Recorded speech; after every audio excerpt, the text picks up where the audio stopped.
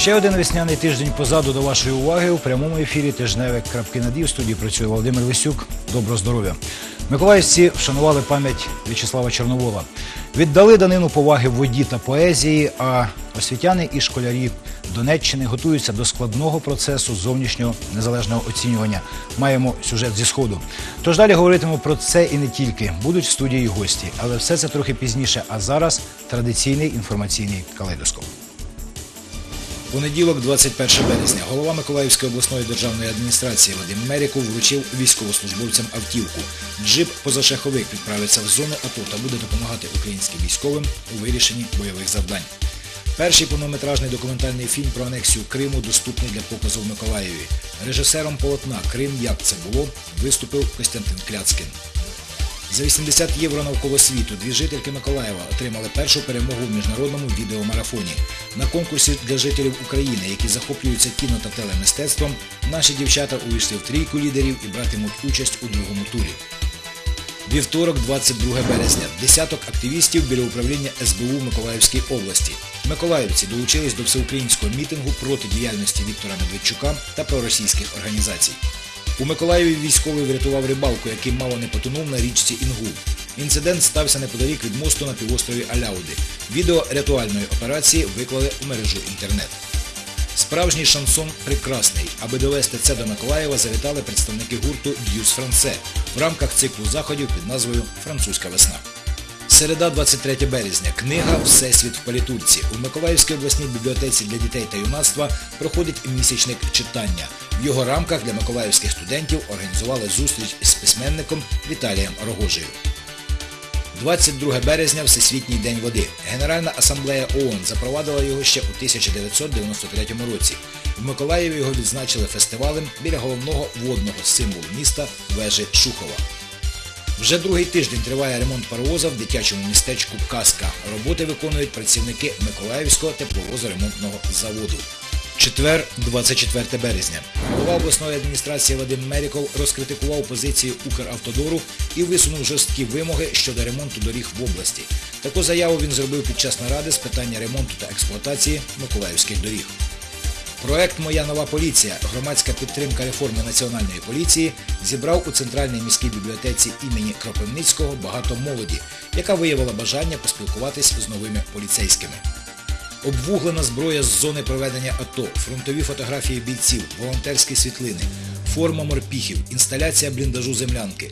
Все це та багато іншого можна побачити на виставці на варті миру та спокою, яку приурочили до Дня визволення Миколаєва. П'ятниця 25 березня. Виповнилось 17 років з дня смерті відомого українського політика, громадського діяча, журналіста В'ячеслава Чорновола. Активісти і представники Народного руху України поклали квіти до його обеліску. Процес декомунізації в місті триває. Відбулось чергове засідання профільної комісії. Проте вирішити глобальні питання її представникам так і не вдалося. Наближається 72-га річниця вигнання з Миколаєва нацистських окупантів. Напередодні відбулось засідання президії обласної ради ветеранів. Зібрались ветерани задля підготовки до знаменної дати та щоб обговорити нагальні питання подальшої роботи ветеранських організацій. Субота, 26 березня. Національна гвардія України святкувала два роки з дня створення. З нагоди річниці на головній вулиці міста влаштували виставку військової техніки, а городяни мали змогу поспілкуватись з військовиками. Лінгвісти з усієї України приїхали до Миколаївського національного університету імені Василя Сухомлинського, щоб представити свої наукові праці на конференції для студентів та молодих науковців. У Миколаєві відбувся 36-й чемпіонат України з греко-римської боротьби. Змагання присвячені пам'яті Героя Радянського Союзу, нашого земляка Василя Гречишникова. Миколаївські рятувальники провели тактико-спеціальне навчання в гуртожитку Національного університету кораблебудування імені адмірала Макарова. Тож розпочнемо. Миколаївці вшанували пам'ять громадянина, патріота, великого сина українського народу В'ячеслава Максимовича Чорновола. 17 років тому, 25 березня, він загинув у автокатастрофі, але його однодумці вважають це вбивством. Миколаївці, миколаївські активісти і члени Народного руху України віддали данину поваги героєві України, поклавши квіти до його пам'ятника. Я вірю в силу духу українського народу, любив говорити В'ячеслав Чорновіл. Він славився своїми демократичними поглядами, патріотизмом, був відданий своїй батьківщині, один з засновників Народного руху України. Цього тижня виповнилось 17 років з дня його смерті. Миколаївські активісти Народного руху України вшанували пам'ять політика, поклавши квіти до пам'ятника. Він був страшний своїми ідеями. Тому передвиборній кампанії Чорновола вбили. Я хочу засвідчити тут, е, біля пам'ятника, свою любов до людей всіх, які е, фактично згинули за ідею.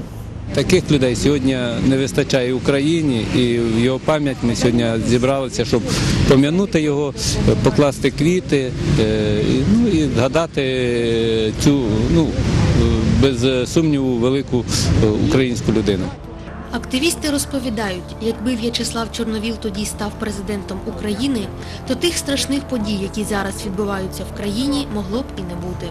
Порівнюють його з відомим поборником вільної України Тарасом Шевченком. Батько української нації, це герой України В'ячеслав Чорновіл, який заснував початок не- української незалежності, е, здобув, будували українську незалежність В'ячеслав Чорновіл. А ми на творах Шевченка зараз вчимося і продовжуємо будувати, продовжуємо будувати українську державу. Кожний е, привніс щось е, своє у історію України і є, будемо казати, закарбованим навічно в її історії. Чорновіл це як один із фундаторів української державності. Е, Шевченко це як один із основоположників України. Молоде покоління також шанує В'ячеслава Чорновола за його політичні погляди. Вважають, що він має бути прикладом для сучасних політиків. Он был борец за э, Украину, за ее такое вот демократическое развитие. И мы тоже должны бороться за свою достойную жизнь. В'ячеслав Чорновіл загинув у автокатастрофі 1999 року. Його однодумці і досі вважають, що це було вбивство. Справу багато разів поновлювали, але вона не розкрита. Посмертно В'ячеславу Чорноволу присвоїли звання Героя України. У багатьох містах України стоїть пам'ятник видатному політику та журналісту. Юлія Анісімова, Максим Симоненко, крапки над І. У нашій студії перший гість, голова Миколаївської обласної організації Народного руху України Юрій Володимирович Діденко. Пане Юрію, доброго здоров'я. Е, Пане Юрію, щиро вдячний, що ви знайшли нагоду сьогодні завітати до нас в студію. І хочу подякувати вам особисто і обласній організації Народного руху України за те, що свого часу я отримав нагоду і можливість познайомитись особисто з Вячеславом Максимовичем Чорноволом. Е, Ця людина в моєму житті зіграла також дуже значну роль. І тим спілкуванням, яке в нас було і в Миколаєві, і в Києві. І тому зараз ну, хотілося б дійсно поговорити про його особистість, про величину його особистості, про те, що сталося. І перше питання, Юрію Володимировичу, все ж таки, на вашу думку, на думку ваших однодумців, вибачте за тавтологію, але в той же час е, автокатастрофа, ця, яка відбулася, то трагічний збіг обставин чи все ж таки вбивство, як ви думаєте? Ну, без сумніву, що е, тут, е, я думаю, що двох думок бути не може. Е, Дивлячись на історію України, однозначно це було вбивство, тому що вже є дослідження Миколи Степаненка, є декілька книг, якого, на жаль, е, більшість тих доводів, які він е, наводить, е, е, слідство не брали до уваги. І, власне, я думаю, до тих пір, поки е, живі замовники цього вбивства, власне, ніякого е, розслідування і ніхто не назове винуватців е, вбивства В'ячеслава Чорновола. Так як і не називають е, замовники вбивства Георгія Гон- Гонгадзе, так само, я думаю, е, немає е, імен замовників вбивства В'ячеслава Чорновола. Але я думаю, що е, ця людина е, своїм життям е, могла зробити дуже багато для України. На жаль, е, той злощасний КАМАЗ, е, 25 березня 99 року обірвав його життя. І я думаю, що багато на те, що думав зробити В'ячеслав Чорновіл, е, залишилося нереалізованими. Юрій Володимирович, тоді, е, якщо ми зараз говоримо саме про вбивство, в принципі, можливо, це і моя суб'єктивна думка, і я як журналіст не маю права цього робити, але в той же час я е, солідарний з вами у цій думці. Е, Обставини складалися таким чином, що це вбивство стало можливим. Які обставини? Ну, власне, народний рух е, переживав, е, пережив розкол. Частина соратників зрадила В'ячеслава Максимовича, е, пішла від нього. Але якраз уже після Кіровограда В'ячеслав Максимович е, заявляв е, своїй дружині, він, до речі, сказав, і своїм однодумцям сказав, що наслідки розколу подолані, і ми вже зараз відновлюємо єдність народного руху. І ті, хто був зачинщиками розколу, я думаю, що підуть у небу- небуття. Тому я думаю, що е, якраз е, такі заяви Чорновола про відновлення єдності руху, якраз я думаю, були невигідні е, в першу чергу тодішній владі, бо Чорновіл був одним із конкурентів, я думаю, і потужним конкурентом тодішньому президенту Леоніду Кучмі, який вже дискредитував себе своїми там, діями, і він міг перемогти тільки е, Симоненка, комуніста, як, е, отримавши підтримку національно-демократичних сил, які е, допомогли йому стати президентом в черговий раз. Юрій Володимирович, в той же час, як ви думаєте, власне, на той момент чинний президент він боявся об'єднання політичної сили, потужної політичної сили, яка переживала ну тоді не самі найкращі часи. Чи він боявся особисто, ну скажімо так, рівня е, лідер, лідерського рівня, політичного рівня, е, саме особистості В'ячеслава Чорновола? Я думаю, в першу чергу це була особистість Чорновола, бо як показувала історія, е, хоча, наприклад, тому самому Віктору Ющенку е, Чорновіл ще в 99-му році пропонував піти в президенти від е, народного руху чи від національно-демократичних сил, і під нього можливе було об'єднання.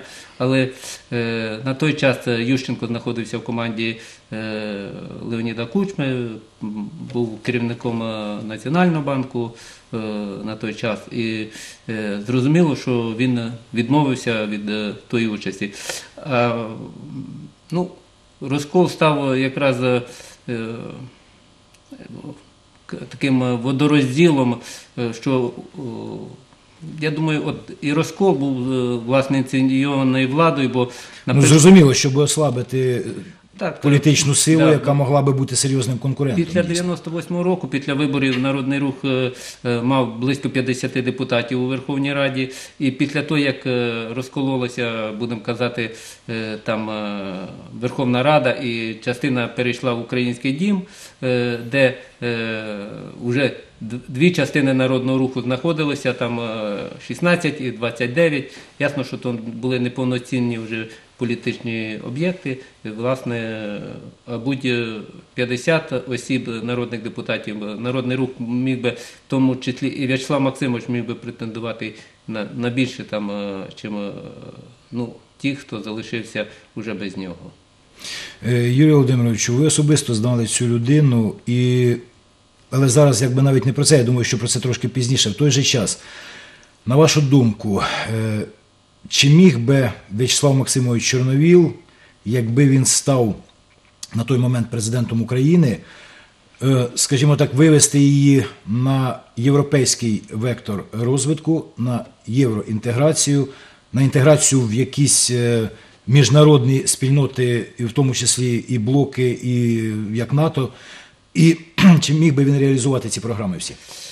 Я думаю, що е, якраз українці зробили помилку е, ще раніше, у 91-му році, не обравши його президентом, і тоді ми мали б е, долю там е, прибалтійських країн, Чехії, тої самої Польщі, де був Лех Валенса, де Васлав Гавел був, де колишні соратники В'ячеслава Чорновола. І я думаю, що тоді і багато змін, які треба було робити, треба було робити в 91-му році. Власне, 99-й рік це вже був, е, в принципі, е, спрут все більше і більше окутував Україну. І, власне, вбивство Чорновола стало вже наслідком того, що таких людей вже не допускали до влади. Вони були безкомпромісні, е, знаючи минуле В'ячеслава Максимовича його сьогодення, ясно, що е, ніхто не хотів, щоб така людина е, хоч, хоч трошки б наблизилася у владні кабінети. Тому, власне, на дорозі з'явився КАМАЗ, тому відбувся розкол народного руху, і, власне, ми маємо такі сумні наслідки для України. Тому я думаю, що якраз дії керівників України привели до того, що е, дії попередніх керівників України привели до того, що ми втратили Крим, що ми сьогодні маємо війну на Донбасі. І, власне, це якраз наслідки тої олігархічної системи, яка в нас зародилася з приходом Леоніда Кучми в 94-му році. Юрію Володимировичу, е, буквально декілька слів хотілося б почути на завершенні нашої розмови е, від вас про В'ячеслава Максимовича Чорновола як людину. Знову ж таки, я вже говорив про те, що були знайомі особисто. Ну, на Миколаївщині немає людини, яка більше знала б В'ячеслава Максимовича і більше спілкувалася з ним, чим е, я. Е, Я досить знав з 90-х років. е, Потім спільно працювали з ним у центральному проводі, в політраді Народного руху України. І В'ячеслав Максимович дуже часто любив приїжджати на Миколаївщину. Він неодноразово бував у цій телестудії, у прямих ефірах. І коли там буквально під час його ефірів телефони взривалися, там е, купа було запитань різних. е, Хтось сприймав, хтось не сприймав, але всі були небайдужі до В'ячеслава Максимовича. Дійсно, це була щира, відкрита е, людина, доступна, будь-хто міг підійти там після зустрічі чи там поспілкуватися, і багато проблем, які от виникали у людей, він намагався їх розв'язати. І я так е, наголошую, що, наприклад, під час його приїзду ніколи не було ніяких ресторанів, нічого, просто він приїздив, там е, снідав е, і, і обідав у наших рухівців на квартирах. І мені сьогодні, наприклад, складно уявити, щоб хтось із лідерів нинішніх партій прийшов і пообідав свого соратника вдома. Ну, е, ну можливо, там є сьогодні е, такі соратники, що там такі маєтки і такі статки, що там е, краще ресторан. Але В'ячеслав Максимович проходив просту там квартиру радянську і там спілкувався. І, ну, проста доступна людина була. Я думаю, що якраз сьогодні таких людей не вистачає в Україні, які б були близькі до людей. Розуміли проблеми людей і могли б їх би розв'язати. Сьогодні якраз Україна е, не має таких людей, і я думаю, що чим е, швидше з'явиться такий лідер із народу, тим швидше Україна зможе подолати ті негаразди, які ми сьогодні маємо. Юрій Володимировичу, я щиро вдячний вам за те, що ви були сьогодні гостем нашої студії. Я щиро вам вдячний за розмову, за відверту розмову, щиру розмову. А ми продовжуємо наш ефір і переходимо до наступного сюжету. І хочеться сказати, знову згадавши В'ячеслава Чорновола, про те, що він дійсно був справжнім патріотом, який поклав своє життя на вівтар служіння Україні на вівтар захисту і обстоювання її свободи і незалежності. І саме на прикладі такого патріотизму потрібно виховувати патріотизм і патріотичні почуття і у підростаючого покоління українців. Хвалити Бога. Ну, ще не зовсім можливо так, як хотілося би, але цей процес іде, в тому числі і на сході України. І хочеться сказати, що освітяни е, сходу України докладають максимум зусиль для того, щоб е, школярі е, Луганщини та Донеччини відчували себе громадянами України і любили та поважали свою батьківщину. Про роботу сфери освіти у зоні АТО. Далі сюжет. На початку літа 2014 року Семенівську дев'ятирічку зруйнували снаряди російсько-терористичних угрупувань. Школа зазнала серйозних ушкоджень. У липні, після визволення Слов'янська, директор школи Сергій Борисенко зустрівся в місті з головою правління Ощадбанку Андрієм Пишним. Банкір пообіцяв допомогти у відновленні навчального закладу і свого слова дотримав.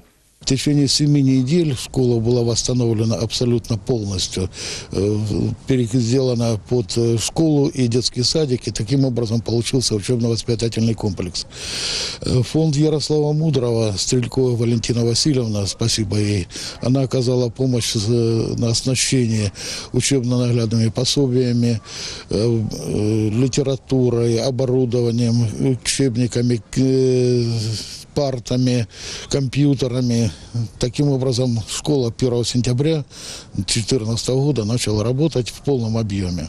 У зв'язку з тим, що сусідній дитсадок був повністю зруйнований внаслідок бойових дій, дошкільний заклад перенесли до відновленої школи. Для цього підготували чудові приміщення, які вміщують дві групи дошкільнят. Сейчас у нас в школе 90 учащихся, до войны было 72, сейчас 90, и 30 детей дошкольных э, в первой группе садика и порядка 15-17 будет во второй группе с 1 апреля.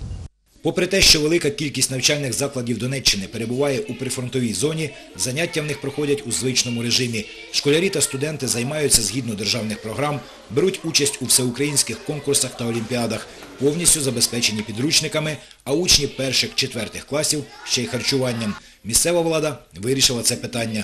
В області створюються так звані опорні школи. Це буде сучасний навчальний заклад, в якому буде проведена термомодернізація. Це підрозуміває все. Це і дахи, і криші, і дахи, і вікна, і інженерні мережі, і повністю ремонт будівлі, і нове обладнання, і нові, нові комп'ютери, книжки і все таке інше. Ось і ось такі школи вони будуть е, в себе. Там будуть навчатися діти, особливо е, старших класів. Це буде це ну хаб скул. Ви чули, таке вже було озвучене. Так то там будуть тільки третя, третій ступінь навчатися дітей. А ось е, будуть філії першого, другого ступеню або першого ступеню. І ось ми з цього питання на сьогодні працюємо, і на такі школи вже е, в області виділено достатньо грошей. Задля цього з бюджету виділено майже 7 мільярдів гривень. Дуже серйозну увагу донецькі освітяни приділяють патріотичному вихованню школярів та студентів. Вже розробили регіональну програму про національне патріотичне виховання, яка буде затверджена на засіданні колегії. Там розроблені всі заходи, і ми приймаємо активну участь. Активну участь во всіх заходах, всі наші е, діти, школярі, студенти. е, Ми працюємо з цього питання. І в нас дуже хороші такі заходи проходять. Ми дуже зараз ще ми розробили таку співпрацю з е, навчальними закладами, ми, наприклад, загальноосвітніми навчальними закладами з Житомирської області, з Рівненської області, з Івано-Франківської області. До нас е, приїжджають е, з тих областей і делегації, і ми своїх дітей відправляли і до Івано-Франківської, і до Львівської області. Дуже сподобалося, і ми працюємо з цього питання, щоб ми були всі разом. Наразі Департамент освіти та науки Донецької області готується до проведення зовнішнього незалежного оцінювання.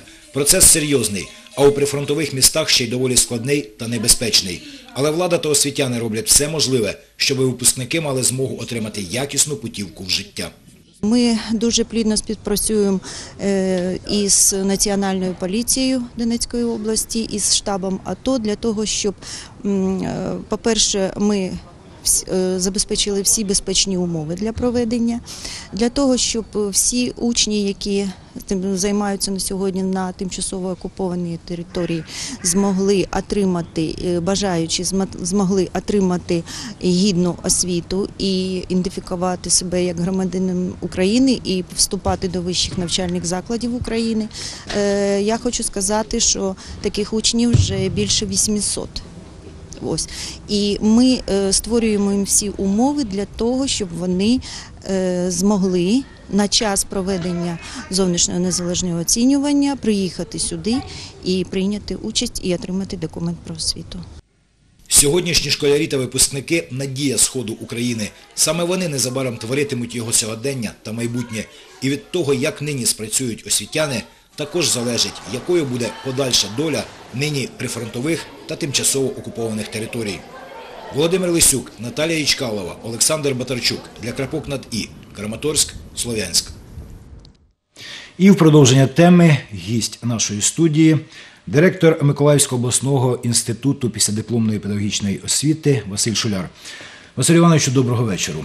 Е, Я щиро вдячний вам, що ви завітали до нас сьогодні в студію. Щойно ми подивилися з вами відеосюжет про те, як працюється освітянам у зоні розмежування, у зоні проведення антитерористичної операції. І навіть якщо брати до уваги той факт, що Краматорськ і Слов'янськ це власне зараз уже третя лінія, це досить таки глибокий тил. В той же час є дуже багато проблем, які їм доводиться вирішувати щоденно. Але ви знаєте, от ми послухали Тетяну Володимирівну, вона дуже багато розказує таких цікавих речей, про які, ну, власне, у нас в області я не чув. Ну, от, наприклад, е, опорні школи, на які в Донецькій області з бюджету виділяються чималі кошти, 7 мільярдів задекларовано, і вони вже йдуть ці кошти. Досить цікаве започаткування. А в нас в області щось можливо е, подібне, і чи ведеться робота в цьому напрямку? Е, Звичайно, така робота ведеться не тільки в нас в області, а й в Україні. А власне на Миколаївщині е, сьогодні проходить конкурс е, на опор... щодо опорних шкіл. Видане відповідне розпорядження голови обласної держадміністрації і наказ по е, департаменту освіти. Перший етап закінчується у березні місяці, і до 15 квітня маємо визначитися щодо опорних шкіл е, в кожному районі і місті е, нашої Миколаївщини. Але взагалі проблема опорних шкіл не така проста, як на перший погляд. Так, це дуже важливий момент у системі освіти, цікавий, е, можна вважати його прогресивним, але тут є ціла низка проблем. Нещодавно ми із е, народним депутатом Тарасом Кремінем е, і головою Очаківської районної державної адміністрації відвідали е, школу віддалену, важкодоступну на Кінбурзькій косі. Е, В, такі, в нашій області на сьогодні ми вже маємо чотири школи віддалені і важкодоступні. І ось, власне, для таких шкіл проблема опорних шкіл буде дуже проблематична. Ми не можемо їх не приєднати і не можемо їх закрити. Тому тут треба думати про визначення статусу таких населених пунктів і відповідно уже де буде і як організована система освіти. Я думаю, що 15 квітня уже в департаменті буде визначено в якому районі, в якому місті, якими будуть опорні школи і які філії. Але тут ще раз хочу підкреслити для наших глядачів, що це є проблематичне питання. Прискіпливе, ми маємо тверезо сісти і прорахувати, де і в якому е, районі місті можуть бути такі опорні школи, щоб не втратити те, що вже маємо, е, і е, утворити такі школи, які дійсно можуть допомогти філіям в організації на високому рівні освітнього процесу. Василю Івановичу, власне, ще одна якби, таке серйозне питання, для, яке мусять вирішувати освітяни. Ну, принаймні зараз в цьому сюжеті ми бачили Донецької області, це проведення процесу зовнішнього незалежного оцінювання. Воно складне тим, що Ну, по-перше, треба організувати безпеку його проведення. Е, Ситуація нестабільна. Окрім цього, потрібно доставити на українську територію дітей, які зараз знаходяться на тимчасово окупованих територіях, але хотіли би продовжити навчання, отримати нормальну освіту саме в Україні. В Миколаївській області, хвалити Бога, такого вирішувати, таких проблем вирішувати не треба. Але в той же час, е, я думаю, що у нас є деякі спільні моменти. Принаймні говорила зараз Тетяна Володимирівна говорила і про, е, скажімо так, програму, яка розроблена в них національно-патріотичного виховання. Миколаївщина теж доволі складний регіон, Е, навіть власне не область, а можливо місто. Як у нас, е, скажімо так, е, справи із цими програмами? Чи є в області програма національного патріотичного виховання дошкільнят, школярів, студентів, і як вона працює? Е, Безумовно, що програма є, і інститут, який я очолюю, е, розроблена відповідна така програма і розроблені науково-методичні рекомендації для е, керівників загальноосвітніх навчальних закладів і в розрізі кожного предмету. І бажаючі можуть зайти на сайт нашого інституту і познайомитися з цими матеріалами. Для нас принципово важливо, як інституту післядипломної педагогічної освіти, підготувати педагогічних працівників області для реалізації цієї програми, озброїти їх, їх тими методами і прийомами, які власне ну, будуть не лише декларативними, а патріотизм має бути дійовим, так щоб відчули і руки, що таке бути патріотом, а не тільки е, через словесні методи е, проведення. Відповідно, для мене, як директора інституту, було святим е, вперше е, в історії е, Миколаївщини і освіти, зокрема, ми розмістили при вході в інститут стенд, який називається Освітяни Миколаївщини, захисники України, де виписані всі прізвища учителів, які сьогодні перебувають на е, війні на сході або брали активну участь. Для нас принципово важливо, що ті, хто переступає поріг нашого, нашої установи, бачив. Кому ми маємо бути вдячні за те, що сьогодні на Миколаївщині е, спокій. Е, Також зорганізований центр з методики проведення патріотичної, е, патріотичного виховання серед учнів. Власне, через цей центр ми намагаємося розробляти е, активні рекомендації. Активно працює в інституті батьківські дебати, де ми намагаємося і батьків залучати, і демонструвати педагогічним працівникам, якою має бути робота з батьками у цьому плані. І дуже важливо в сюжеті підкреслило питання, це теж надзвичайно сьогодні актуальне і важливе проведення зовнішнього незалежного оцінювання. Безумовно, ми таких проблем не маємо, як колеги е, з сходу України, але у нас е, народився надзвичайно цікавий і ми сподіваємося продуктивний проект е, щодо допомоги учителям е, Сходу Донецька у підготовці е, учнів до зовнішнього незалежного оцінювання. Нещодавно у нас відбулася відеоконференція і від, від, е, вебінар із е, колегами Мар'їнського району, е, де ми ділилися досвідом, якою має бути підготовка учнів до зовнішнього незалежного оцінювання. У Мар'їнському районі Новоукраїнка е, ентузіаст, патріот Георгій Бойко е, разом із колегами е, запропонували свою модель. Ми ж запропонували їм свою модель. І ми сподіваємося, і вже є домовленість, що ми будемо обмінюватися колегами, делегаціями, відвідаємо Мар'їнський район. І маючи нагоду, я звертаюся до всіх небайдужих, хто може підтримати Новоукраїнку е, Мар'їнського району і придбати два комп'ютера для цієї школи, яка незалежно від тих умов і ситуацій, надзвичайних ситуацій, продовжує формувати націю нашої України, патріотів нашої України і готувати учнів до свого майбутнього, успішного складання зовнішнього незалежного оцінювання. Василь Іванович, я думаю, що ваше прохання, я вірю, це буде почуто, і це питання буде вирішено. І можливо, навіть спільно з вами ми зможемо відвідати школу новоукраїнську Мар'їнського району і вручити ті комп'ютери. Я вам щиро вдячний за те, що ви були сьогодні гостем нашої студії. Щиро вдячний за компетентні вичерпні коментарі. А наш випуск триває, наш прямий ефір триває, і ми переходимо до інших тем. Ситуація у промисловості України, м'яко кажучи, нині складна. Задекларовані урядом економічні реформи більше нагадують якісь недолугі експерименти. Але, в тому, але промисловість все ж таки працює якимось незрозумілим чином, в тому числі і машинобудівник, машинобудівна. Миколаївські машинобудівники також, попри все, попри всі труднощі, які є, намагаються втриматись на бурхливих ринкових хвилях. Чи вдається їм це, дізнавався Федір Бондар. Незважаючи на тривалі експерименти вітчизняних урядовців, промислове виробництво в Україні і на Миколаївщині, зокрема, ще жевріє. Успішним прикладом є Миколаївський тепловозоремонтний завод, який цими днями завершив ремонт чергового тепловоза для свого давнього партнера Полтавського гірничо-збагачувального комбінату. под этого заказчика была интересная ситуация. Там было некоторое э, клевета, некоторые сплетни, информация в средствах массовой информации по поводу плохого нашего качества ремонта. Но тем не менее, именно этот заказчик продолжает с нами работать.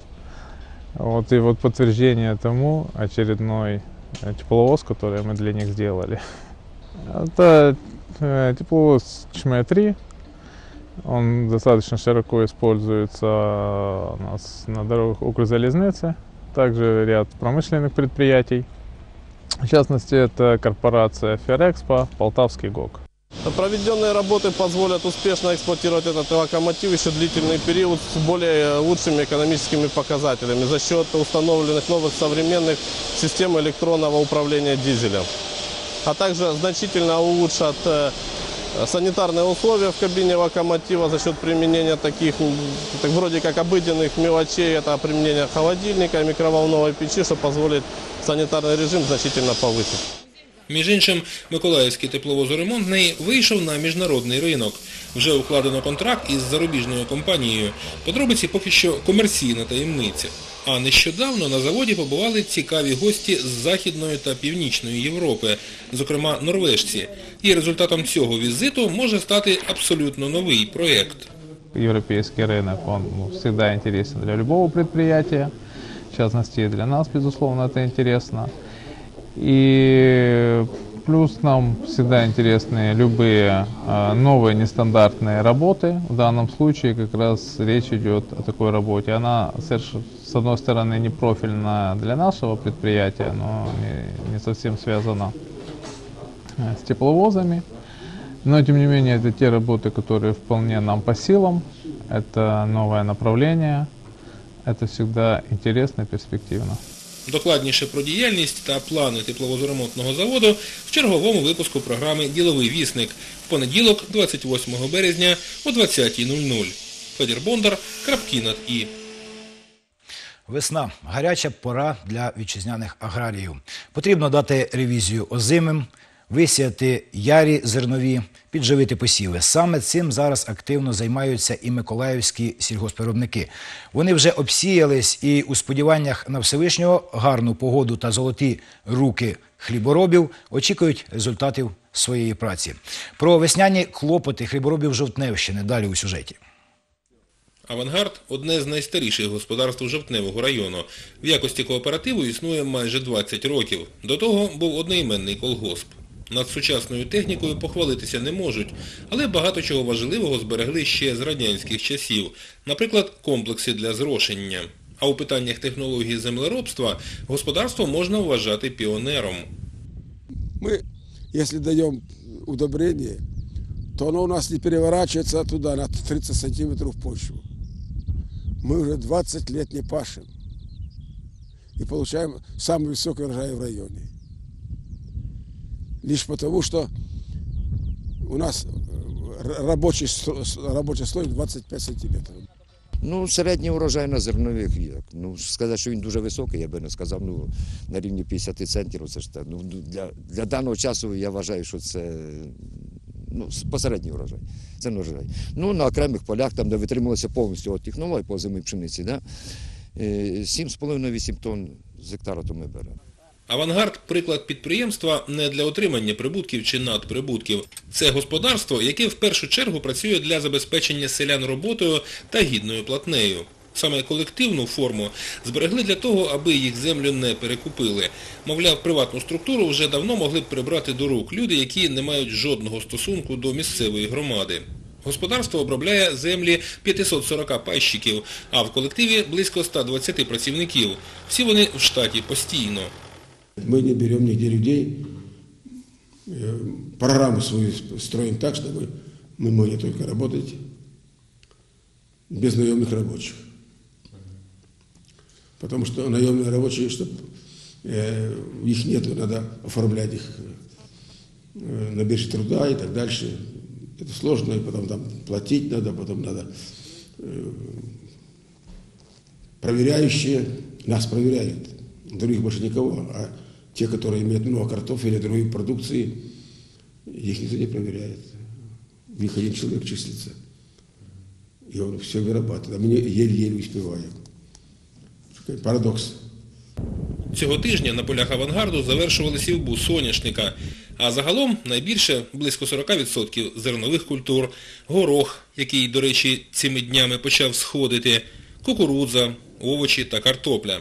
Це теж місцеве ноу-хау. Вони називають це приміщення яровизатором. Тут доводять картоплю до оптимального для висадки стану. Корма заготовляють для власної тваринницької складової. В господарстві є трохи більше сотні голів свиней, а також велика рогата худоба і, вже рідкість сьогодні, молочне стадо. За прошлый год мы надоели где-то на каждую корову, где-то, э, ну не, не скажу, что сильно высокой удой, но 4 тысячи на корову надоели. Докладніше про господарство «Авангард» та про деяких інших сільгосптоваровиробників Жовтневого району розповімо в найближчій передачі «Південні лани» у вівторок, 29 березня о 20.00. Федір Бондар, Сергій Єрмаков, Крапкінат «і».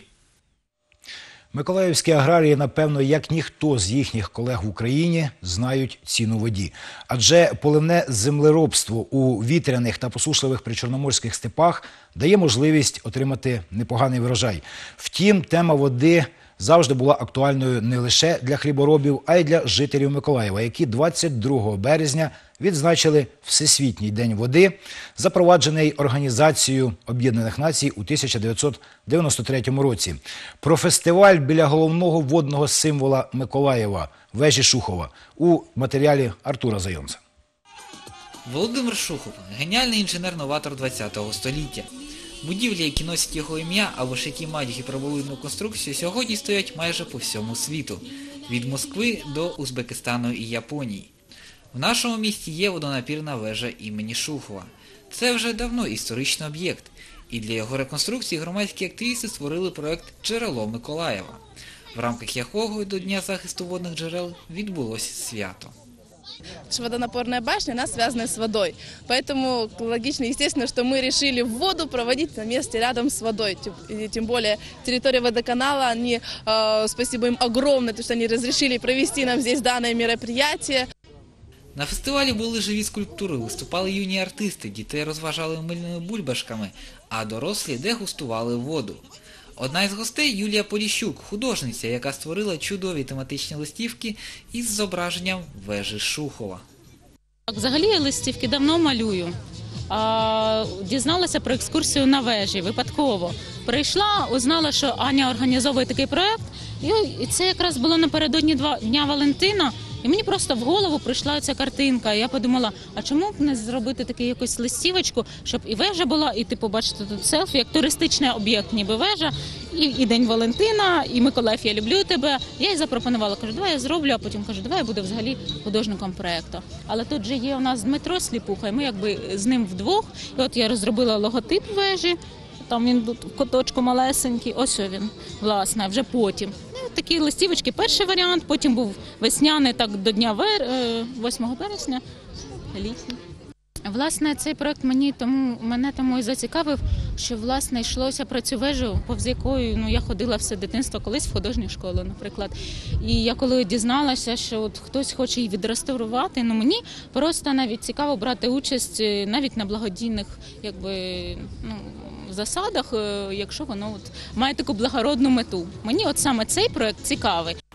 Серед присутніх на свято були і артисти обласної філармонії, які виконали для всіх присутніх ніжні ліричні композиції.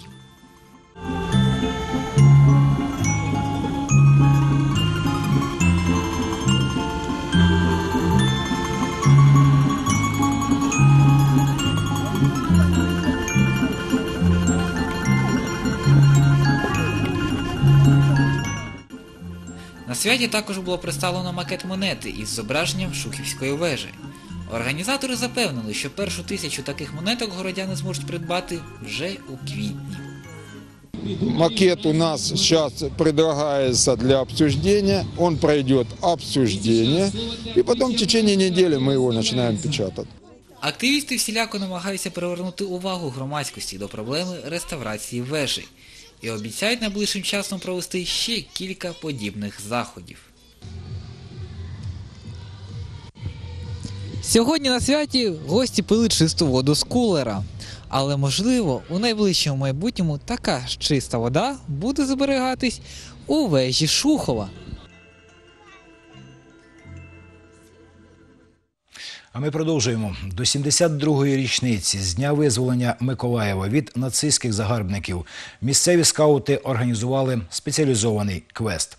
Школярі Заводського району демонстрували свою кмітливість, знання історії рідного краю та фізичну підготовку. Детальніше про змагання у відеосюжеті головного скаута телеканалу Миколаїв Дениса Іванова. Участь у змаганнях взяли близько сотні представників шкіл району. Квест організовували із урахуванням вмінь та знань школярів. Учасникам пояснили, що переможе не та команда, яка прийде на фініш першою, а та, що набере більше балів за підсумками двох турів. Это и спортивный пройти задания на скорость, на ловкость, и исторический момент на мышление, на знание истории своего города. И те дети, которые даже не знают, то мы будем давать им подсказки, и в ходе квеста они узнают историю нашего города. І таким чином команда втрачала дорогоцінний час. Доводилося прослуховувати цілу лекцію про історію звільнення міста у роки Другої світової війни. І лише потім повторно проходити опитування. Ефективність квесту відзначили і представники влади. Это любовь к городу, это любовь к нашей стране, это и здоровая нация, умные, красивые дети. И я благодарен скаутам и Украины, ска- скаутам города Николаева, что организовывают такие мероприятия. Посмотрите, хорошая погода, классные, красивые дети, и с- и спортсмены, и преподаватели, и учителя. Під час проходження завдань командам довелося долати багато перепон та показати все, що вони дізналися на уроках в школі. Орієнтування на місцевості, знання геометрії та навіть фізична підготовка. Все стало у пригоді. Проте найбільшою проблемою було невміння слухати своїх однокласників. Все суетились и э, пытались делать все, как хотели, э, и выбирали самое э, обычное. А все, а, а те, кто остались, им оставалось все самое сложное. То есть все самое простое разобрали с самого начала. Было сложно, потому что все это пытались наперекосяк, э, кто захотел туда и полез, и никто не слушался командира. Довольно-таки сложное задание было, но все же с помощью командных усилий прошли. Під час підбиття підсумків квесту відбулося закриття міжнародного проєкту Зелена планета. В його рамках гості з Німеччини допомагали миколаївським школярам в озелененій області. У детей была возможность э, в- пообщаться с э, иностранцами, э, улучшить свои знания по английскому языку. А, Мы выяснили, что очень многие люди э, в наших районах не имеют никакого опыта общения с иностранцами. Они их никогда не видели, поэтому, когда дети вживую смогли их увидеть, то м, поняли, для чего им надо изучать английский язык. В рамках проєкту скаути Німеччини допомагали висаджувати дерева по всій області, а найголовніше знайомилися із звичаями та побутом.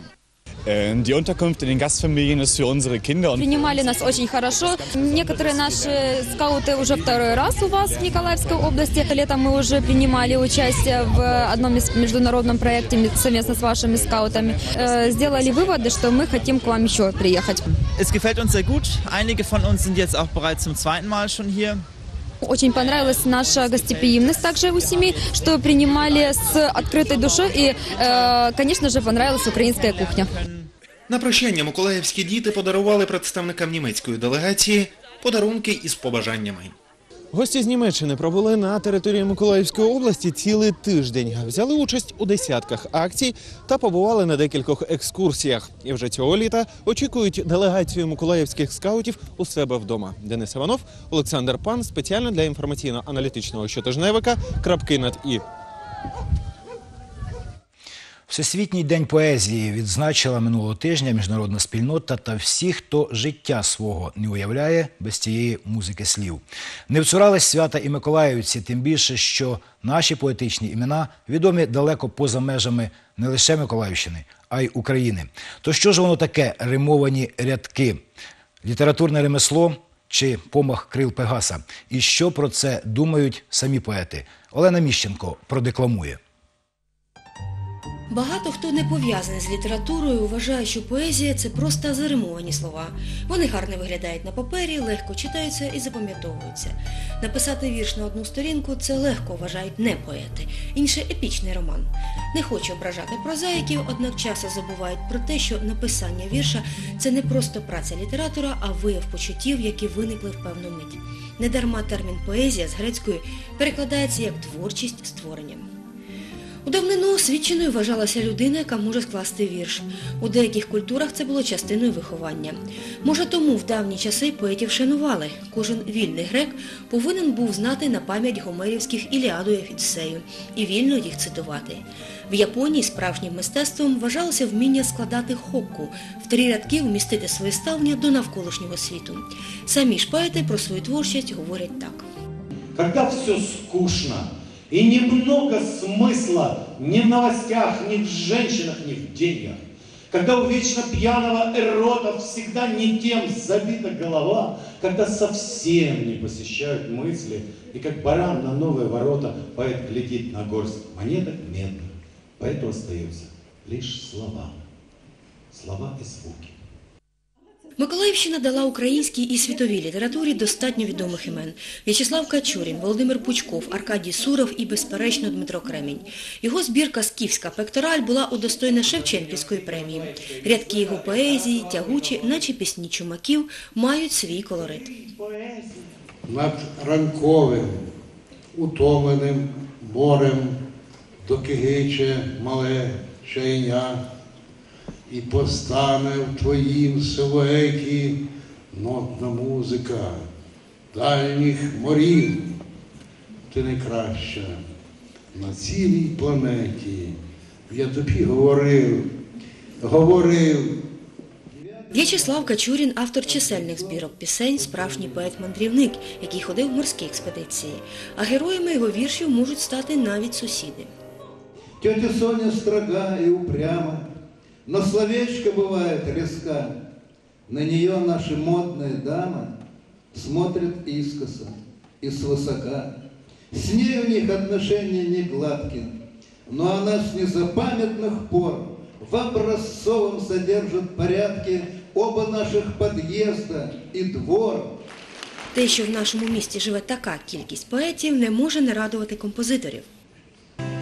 Я думаю, це чудово жити поряд з поетами, На вірші яких можна написати пісні. Спалюють піс, листя. Дмитро Дмитрович Кремінь.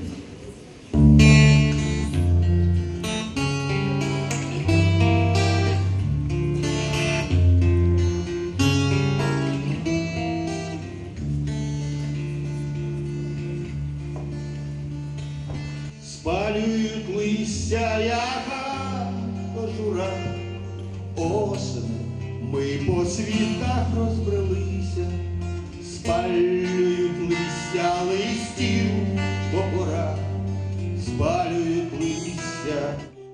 Вітання отримали всі миколаївські поети, а от цікаво, як самі представники цього літературного цеху ставляться до свого, так би мовити, професійного свята.